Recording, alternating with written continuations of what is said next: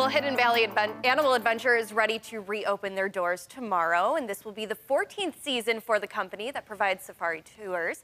To tell us more about that is General Manager Barb Dominizzi. Thank you so much for, for stopping here today. Thank you for having me. So we have Wilma and Winston here. They are so beautiful. Tell us a little bit about them.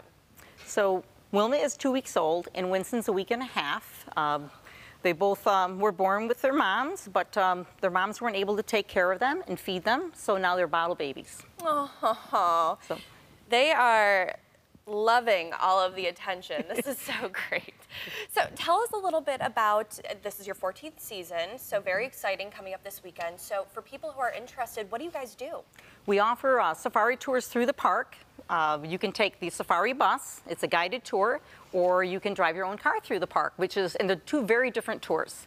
Uh, on the safari bus, you're feeding animals up above the animals, and in the car, they're right down with you oh, wow. on ground level. So an animal could sneak its head in, right into your car, and the zebra like to um, stick their head in, and you can feed them, and you can actually touch them too. Oh my gosh, how fun is that? What kind of animals do you guys have?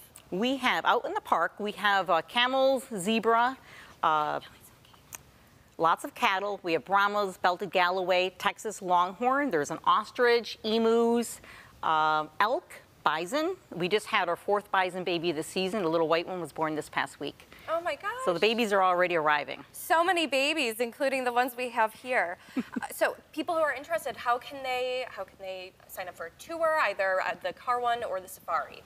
They can go online at hiddenvalleyadventure.com and book online. For the buses, we, re, we highly recommend they do it in advance. Okay. Uh, we're still hiring bus drivers, but uh, so there's limited buses available. But that's the best way to ensure that they have a seat.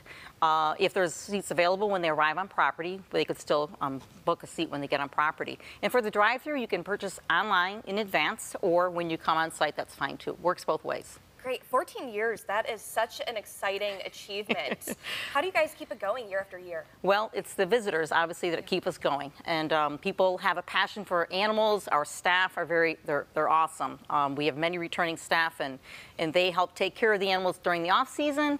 And obviously, it's the people. If the people don't come, we can't stay open. So the people keep us going, and um, 14th season, we never really, really were sure that we would get here, but we're getting close to 15. And I agree that's an achievement. That's awesome. Barb, thank you so much for joining us. Wilma and Winston, I'm going to take you guys home with me. Stay with us. Mike Cejka is tracking Buffalo's most accurate forecast when we come back.